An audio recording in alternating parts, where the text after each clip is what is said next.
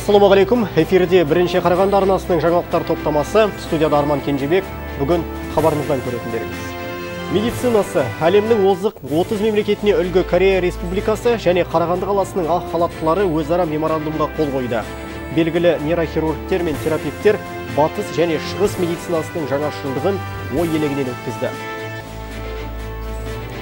Қарағандыда 1900 жылдары жасалған домбыра табылды. Көне аспапты күйші Қайролла Сәдуақасовқа Мойынты кентінің тұрғыны Рахманәлі Әбеуов табыстаған. Аймағымызда жас кәсіпкер студенттерді қолдау жобасы іске қосылды. Толығырақ бүгінгі топтамада. Маңызды жаңалықтардан бастайық. Оңтүстік Корея елінің ақ халаттылары қаламыздағы медицина саласына қызығушылық танытып отыр. Осыған орай екі жақты меморандум аясында конференция өтті. Онда алдағы уақытта дертіне шипа іздеген науқастар қомақты қаржы талап ететін ота үшін шетелдерге бармай-ақ өз аймағымыздағы медицина мекемелерінде іске асыра алады. Оңтүстік Корея Республикасы әлем бойынша дамыған елдердің тізімінде 8 орында. Денсаулық сақтау саласы бойынша да аталмыш мемлекет көш басындағылардың қатарында. Бұл жақтың тұрғындары 80 жасқа дейін өмір сүреді. Бұған себеп сапалы медицинаның дамуы. Бұл жетістік оған жету тәсілдері аталмыш конференция барысында айтылып талқыланды. Сегодня қазіргі таңда қаламызда медицина саласы алға басуда. Осыған қарамастан біз шет елмен әсіресе кореямен келісімге келуге бел будық. Себебі ол жақта медицина әлде қайда дамып кеткен түрлі құрылғылармен жабдықталған. Сол себептен екі жақтың медицина қызметкерлері тәжірибемен алмасып қарағандылықтарға корея медицинасындағы емдеу тәсілдерін ұсынсақ дейміз. Сондай ақ жиын барысында оңтүстік кореяның медицина қызметкерлері отандық дәрігерлерге көрген білгендермен бөлісті. Ондағы мақсаттары қос жақты әріптестікті нығайту және келешекте медицина мамандары тәжірибе алмасып біліктілігін жетілдірмек. Сонымен қатар ынтымақтастық аясында клиникалар заманауи құрылғылармен жаңартылады. Тіпті жаңа эндоскопиялық орталықта бой көтеруі мүмкін. Основная цель это шараны ұйымдастырудағы басты мақсат біз кеншілер шаһарындағы клиникаларға корея еліндегі компаниялардың білікті мамандарын жіберіп медицина саласындағы жоғары көрсеткіш көрсетуін қалаймыз. Сонымен қатар қарағанды мемлекеттік университетімен де тығыз жұмыс жасауды да көздеп отырмыз. Конференция соңында қарағандылықтар оңтүстік корея еліне мемлекеттік жеке меншік әріптестік болуға ұсыныс жасады. Одан кейін шетелдік қонақтарымыз қаламыздағы медицина мекемелеріне барып жұмыстарымен танысты. Анар қанатқызы жақсылық нұртай дастаншанин бірінші қарағанды телеарнасы. Рухани жаңғырудың қозғаушы күші жастар. Елбасының бағдарламалық мақаласында білімді ұрпақ кемелді елдің келешегі делінген. Қарағанды облыстық әділет басқармасының мамандары аталмыш үндеуді түсіндіру мақсатында жоғарғы оқу орнының студенттерімен кездесті. Өзінің болашақ әріптестері яғни заңгер студенттермен кездескен әділет департаментінің басшысы асхат жүсіпов елбасы мақаласының тікелей орындаушылары осы жастар дейді. Себебі ескіліктің кебінде қалған аға буынның ойын жаңғыртып жаңа әлемдегі жаңа қазақстанды қалыптастыратын осы келешек ұрпақ дейді заңгер. По словам Нурсултана Абишевича, опережающая модернизация елбасының бағдарламалық мақаласы жалпы халыққа арналғанымен оның мәні мен маңызын осы жастарға көбірек сіңіру керек. Себебі болашақ осы ұрпақтікі. Ертеңгі елдің экономикасы да саясаты да жастарда қалады. Сондықтан рухани жаңғыру бағдарламасы осы ұрпақтың ұлттық құндылықтарды санасына сіңіру үшін бағытталған үндеу. Оны дәріптеу біздер аға буынның міндеті деп ойлаймын. 12 сәуір күні жарияланған елбасының мақаласы үшінші жаңғыру жолдауының жалғасы іспетті. Болашаққа бағдар рухани жаңғыру бағдарламасы ақылы мен парасаты сай ұрпақ қалыптастырып экономикасы мен саясаты үйлескен мәңгілік елдің бастамасы дейді заңгерлер қауымы. Жанайдар майкен жақсылық нұртай дастаншанин бірінші қарағанды телеарнасы. Қарағандыда 1900 жылдары жасалған домбыра табылды. Оны облыстық күйгеруен шертпе күй орталығының жетекшісі Қайролла Сәдуақасов шет ауданы Мойынты кентінен алып келіпті. Енді күйші домбыраны қайта жөндемек, себебі бұрынғы домбыралардың дыбысы қоңыр үнді, әуезді күй тартуға өте ыңғайлы дейді күйші. Қалақ домбыра аталатын көне аспап бұған дейін Мойынтыдағы Рахманәлі Әбеуовтің үйінде сақталған.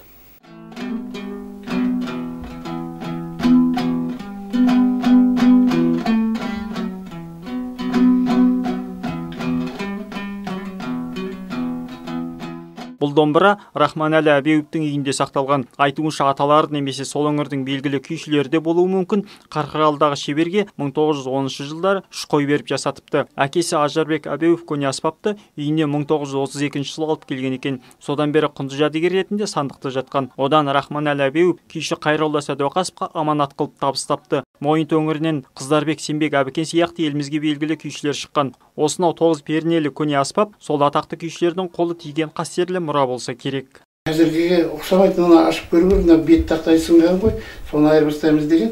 Мынау мойын мойынның жалпақтығы бізге қазір ұқсамайды даже бұрынғы көне домбыралардың бәрі осындай мойыны жалпақ болып келген. Бұған күйшілердің өзі сондай күй домбырасының бәрі солай болады мына осы жалпақтығы үш сантиметрден кем емес кейбір. Қайролла ағаның пікірінше нотаға түсіргенде күйдің нағыз қажетті қоңыр үні қағазға түспей қалады. Оны сол күйді нотаға түсірушілердің өздері де мойындайды. Сонымен қатар бұрынғы домбыралардың мойны жуан болғандықтан саусақтардың пернені басуына да ыңғайлы болып келеді. Сондай ақ қазақ шеберлері музыкалық аспапты тұтас ағаштан шауып жасаған бет тақтайын ғана ағаш шегемен шегелеген желім лак жағылмайтындықтан домбыраның үні де күмбірлеп тұрады. Қазіргі таңда ұлттық аспаптың шегінде балық аулайтын лескадан тағады. Ал ерте кезде ешкінің шегін иіріп таққан екен. Астанада халықаралық байқауда ноғайлы елінен келді бір жігіт. Сол қазақтың домбырасы ноғай болса да ол қазақ қой ноғайлар бөлініп кеткен. Сонда домбыра өзінде осындай шағын домбыра қалақ. Ешкінің шегінен біздің бәріміз де ілескенмен жүрміз жаңағы ешкінің шегімен. Сонда сахнада қаз туған жыраудың жырын айтты. Ұрып төкпелеп отырып ұрып ана үзіліп қалады деп қорыққан да жоқ ештеңе қайролла ағаның үйінде бұған дейін де бір ғасырлық домбыра сақталған. Қазір ол аспапты да өзі сақтап қолданып келеді. Күйші өзі де домбыра шабады күйді де өз домбырасымен тартады. Өнерпаздың әкесі дәулетбек сәдуақасов та дәулескер күйші қазақстан республикасының мәдениет қайраткері атағын алған. Сондықтан жасынан құлаққа сіңісті болған ертеде күйшілердің домбыра қағысын шертпе күйдің бұзылмаған сарынын сақтауға жаңғыртуға атсалысуда. Күй керуен орталығының негізгі мақсаты бабаларымыздың шертпе күйін бұзылмаған күйін де болашақ ұрпаққа жеткізу. Көне аспаптарды қайта қалпына келтіру және осынау асыл мұрамызды жалғастыратын жас ұрпақты тәрбиелеу дейді күйші. Жаңабек наров жақсылық нұртай дастан шанин бірінші қарағанды телеарнасы. Үш тілділік тұғырым. Осындай атаумен шаһарымыздағы алтын сақа балабақшасында интеллектуалдық сайыс өтті. Жасынан бірнеше тіл меңгерген талантты балалардың бәсекесін біздің арнаның тілшісі де көріп қайтқан болатын. Жалпы бұл танымдық сайыс мектепке дейінгі балалардың тілді меңгеру қабілетін арттыру мақсатында өткізіліп отыр. Мектепке дейінгі мекеменің мамандары баланың өзге тілді меңгеруге деген құлшынысы тілі шыққаннан ақ байқалады. Сол себепті де ересектерге қарағанда жас бала ағылшын орыс тілдерін тез үйреніп алады дейді. Бүгінгі мектепке дейінгі жастан бастап қазіргі жаңа өзгерістерге байланысты жаңа тәсілдерді табуға шақырды. Бүгін біздің байқау мақсатымыздан мақсатында балалардың балабақшадан бастап үш тілдік білетін және сөйлей алатын жиырма бірінші ғасырға лайықты сапалы қасиеттерге ие балаларды көрсету. Алтын сақа балабақшасының тәрбиеленушілері қазірдің өзінде қазақ тілі мен орыс тілдерінде еркін сөйлейді екен. Тіпті ағылшын тілінде өз деңгейлеріне сай меңгеріп алған. Оның дәлелін өзге тілде оп оңай санап тұрған мына балалардан ақ көруге болады.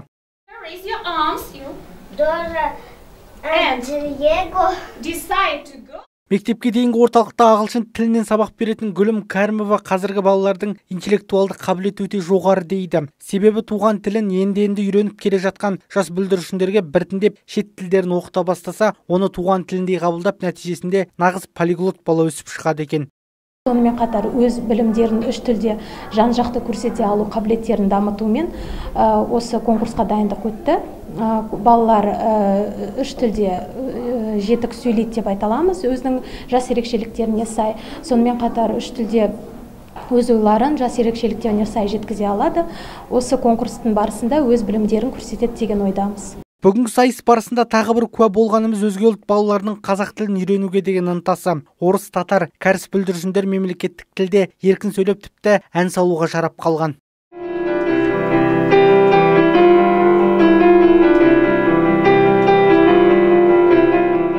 Байқау қорытындысы бойынша балабақша тәрбиеленушілері үздік нәтиже көрсетті бірінен бір асып түскен сайыстың жеңімпазы деп әділқазылар тілдер мен ұлттар достығын таныды үш тілде еркін сайраған кішкене балалар қазақстанда ең білімді бәсекеге қабілетті ұрпақтың өсіп келе жатқанын тағы бір дәлелдеді жанайдар майкен исламбек оспанов дастан шанин бірінші қарағанды телеарнасы Хабарымызды жалғастырамыз. Аймағымызда жас кәсіпкер студенттерді қолдау жобасы іске қосылды. Ендігі кәсіпкерлікпен айналысу үшін арнайы курс іздеп, қосымша төлемақы төлеп жүрмей, студенттер университетте оқып жүріп, кәсіпкерлік жайында білім алып, кәсібін бастауға мүмкіндік алады. Дөңгелек үстел барысында студенттер ортасында жас кәсіпкерлер экожүйесін құру жобасы таныстырылып, талқыланды. Аталмыш жоба елбасы жолдауы үшінші жаңғыру жаһандық бәсекелестікке қабілеттілік негізінде құрылды. Жобаны ұсынып отырған Евразиялық топ халықты жұмыспен қамтылуына жауаптылардың бірі. Сол себепті де іскер жастарға мүмкіндік беріп, шаһарымызда жаңа жұмыс орындарымен қамтитындығын Фатима Қосаева өз сөзінде атап өтті. Он направлен на то, чтобы поддержать Жастардың, әсіресе студенттердің кәсіпкерлік бастамасы Қазақстанның инновациялық экономикасын дамытудың негізгі факторларының бірі бола алатындығына сенімдіміз. Біз тек студенттер кәсіпкерлігінің экожүйесін құрудағы жоғарғы оқу орындары мен Евразиялық топтың өзара байланысын қарастырдық. Экожүйені құрудың басты ережесі оны қажетті жергілікті деңгейде құру деп санаймыз. Айта кетейік, Евразиялық топ таукен қазып шығару, өңдеу, табиғи қорларды өндіру саласындағы әлемдегі жетекші және ең ірі әртараптандырылған компаниялардың бірі. Евразиялық топ 14 елде орналасқан және де ұсынған жобалары да ауқымды. Студенттер ортасында жас кәсіпкерлік экожүйесін құрудың тиімділігі жастарға кәсіп бастауға мүмкіндік береді ал университеттерге бәсекелестік тудырады онымен қоса аймақтарда жұмыс орындарының санын көбейтеді Данный проект направлен на развитие Бұл жобаның басты мақсаты студенттерге қазірден бастап өз кәсібін ашып, дамытуға көмек көрсету. Әрине, кәсіп бастау үшін алдымен ол жайында білімде болу керек. Сол себепті университеттерде кәсіпкерлік саласын оқытуды ұсынып отырмыз. Не себепті Тель-Авив университеті таңдалды десеңіз, біздің оқу ордасы кәсіпкерлік саласын оқытуға бағытталған. Аталмыш жоба 5 этап бойынша жүзеге асады. Кәсіпкерліктің бағытын анықтаудан университет қабырғасында кәсіпкерлікті дамытуға дейін жұмыстар жүргізіледі. Осы жоба аясында 5 апталық онлайн тренингте маркетинг, нарық жайында көптеген ақпарат алуға болады. Бұл жоба сәуір айынан бастап алып, желтоқсанға дейін жалғасатын болады. Аяжан Ералықызы Жаслан Мақұлбеков, Дастан Шанин, бірінші Қарағанды телеарнасы. Қарағандылық дәрігерлер перинатальды диагностиканың дамыту жобаларын талқылады перзентхананың медицина мамандарына тиісті бағдарлама оқытылып, тиімді әдіс тәсілдер үйретілді. Дәрісті Америкалық университеттің акушерлік кафедрасының профессорлары жүргізді. Жиын барысында қарастырылған өзекті мәселе шақалақтың дертті болып тууы. Кейін кезде бұл жағдайлар көбейе түскен. Атап айтқанда балаларда туа бітті жүрек ақауы кездесіп жатады. Бұл дерт асқынған жағдайда сәбилердің өліміне әкеледі. Перинаталды диагностика медицинада күрделі салалардың бірі дейді ғалымдар пренатальной диагностики врожденных пороков. Пренаталды диагностикада жүрек ақауларын айқындау қиын. Осы дертпен ауырған сәбилердің көпшілігі шетінеген. Біз осындай қауіпті аурулардың алдын алу жолдарын талқыладық. 15 жылдан бері ультрадыбыстық зерттеу құрылғысы арқылы сәбиді анасының ішінде жатқанда көріп бақылауға болады. Бұл құралдың көмегімен оның қай жері ауыратынын және не жетіспейтінін анықтауға да мүмкіндік бар. Америкалықтар осынау қондырғының тиімді амалдарын қалай қолдану қажеттігін жергілікті дәрігерлерге үйретіп көрсетті. Бізге өте көп дәрістер, жақсы тақырыптар оқылып жатыр. Біздің жұмысымызда алдағы жұмысымызға үлкен сабақ болады деген үміттемін. Мамандар жиында әлемдік тәжірибелерді және ана мен бала өлімі деңгейін азайту мәселелерін қарастырды. Ұйымдастырушылардың айтуынша мұндай семинар тренингтер медицина мамандарының тәжірибе алмасуына тиімді әдістерді меңгеруге де ықпал жасайды. Жаңабек наров дастан шанин бірінші қарағанды телеарнасы. Қарағанды облыстық мамандандырылған музыка мектебіне елу жыл толды. Атаулы күнге орай мектеп ұжымы түлектер мен ардагер ұстаздардың басын қосып үлкен іс шара өткізді. Мерейтой қарсаңында шақыртылған қонақтар үшін мектептің дарынды оқушылар мен тәлімгерлер арнайы концерттік бағдарлама ұсынды.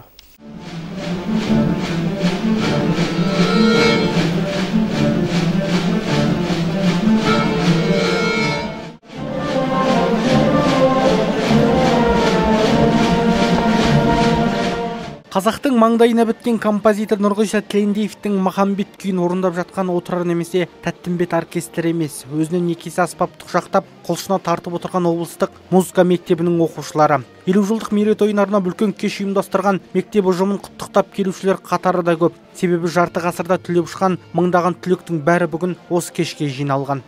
Осы мектебімізге елу жыл болып жатыр мұндай мектеп өзі республикада ерте уақыттан үшеу ақ болатын. Екеуі алматыда біреуі қарағандыда болатын. Мінекей осы мектебімізге бүгін елу жыл болып отыр. Жан жақтан мектеп бітірген оқушыларымыз келіп жатыр.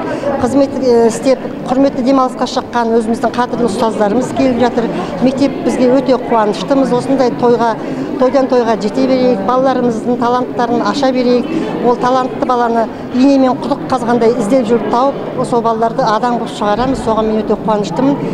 Кеш барысында құрметті қонақтар үшін мектеп оқушылары мен түлектері халық әндері мен әлем классиктерінің шығармаларын тарту етті. Мерейтойға арнайы шақыртылған ардагер ұстаздар қауымы да сый сияпаттан құр қалмады. Облыстық білім басқармасының ұйғарымымен ардагерлерге арнап мерейтойлық төсбелгі мен дипломдар табыс етілді.